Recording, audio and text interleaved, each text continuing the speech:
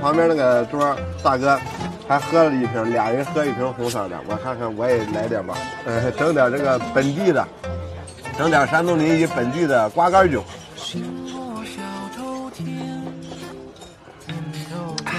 挺好，挺好。早晨喝早酒，吃肉豆腐脑，人生一大快事。再一个，再来一个邦邦硬的油条哈。哇，这上边还有芝麻啊，非常好啊。嗯，